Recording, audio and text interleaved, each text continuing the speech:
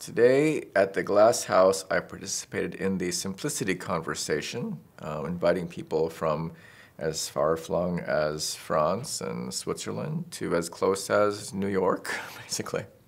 The topic of simplicity is something that I'm carrying um, in different venues in the business world, in the design world, and also the technology world. Uh, I have a book called The Laws of Simplicity.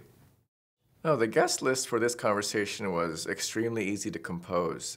Uh, there are a string of friends that I've been meeting all over the world or here or there, and they just keep coming up as sort of a, the piece that doesn't fit in the puzzle.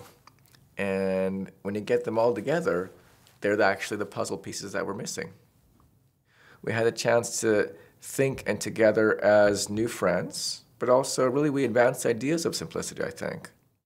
Today was a success because um, we discussed simplicity, we discuss complexity, but we also discuss general life questions. What does it mean to be human? That's a core question, I think, today. An unexpected idea that came up today was the question of values.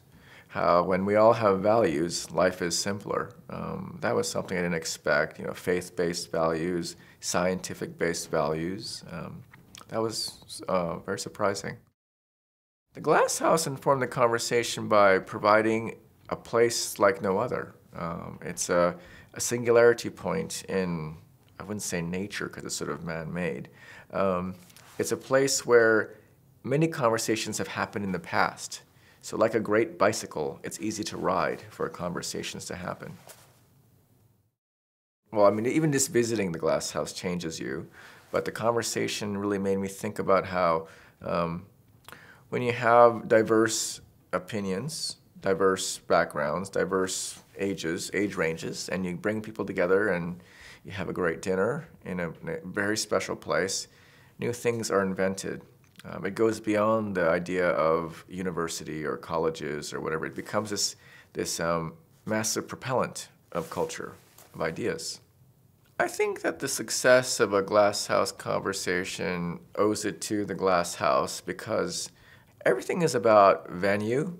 Uh, people, of course, is the most important ingredient. However, people don't come for specific reasons. Uh, if there's a great venue, they all come. So the Glass House was the magnetic attractor for all this great talent to, to spend time away from their very busy lives, to take a moment and think out loud together.